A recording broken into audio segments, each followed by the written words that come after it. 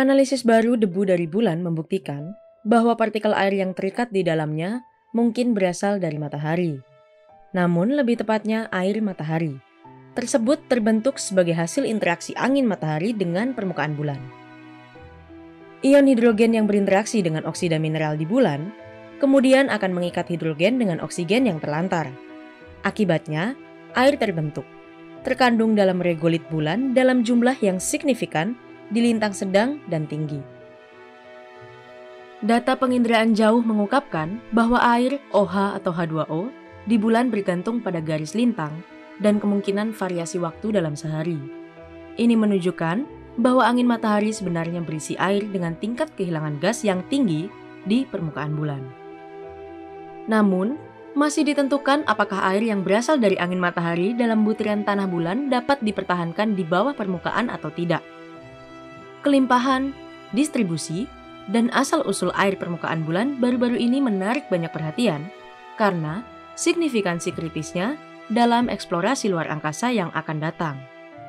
Menurut tim peneliti gabungan dari National Space Science Center atau NSSC dan Institute of Geology and Geophysics IGG, di mana keduanya berafiliasi dengan Chinese Academy of Science CAS, mengungkapkan bahwa butiran tanah bulan Changi 5 memiliki konsentrasi hidrogen yang tinggi dan rasio deuterium hidrogen yang rendah, yang konsisten dengan air bulan yang berasal dari angin matahari.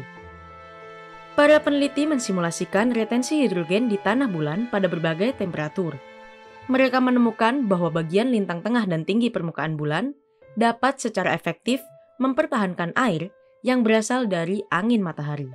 Profesor Yang Ting Lin dari IGG, penulis korespondensi penelitian tersebut mengatakan tanah bulan di kutub dapat mengandung lebih banyak air daripada sampel Changi 5. Misi Changi 5 mengembalikan sampel tanah dari suatu tempat di lintang tengah, 43,06 derajat lintang utara, berbeda dengan 6 misi Apollo dan 3 Luna yang semuanya mendarat di lintang rendah, 8,97 derajat lintang selatan sampai 26,13 derajat lintang utara.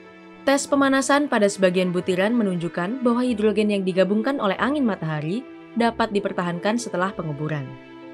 Para peneliti membuat model kesetimbangan dinamis antara implantasi dan outgassing angin matahari hidrogen dalam butiran tanah bulan menggunakan data ini.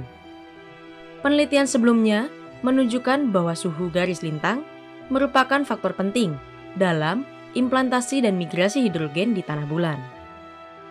Dengan menggunakan model ini, mereka memperkirakan kelimpahan hidrogen yang lebih tinggi lagi di pinggiran butir di wilayah kutub bulan.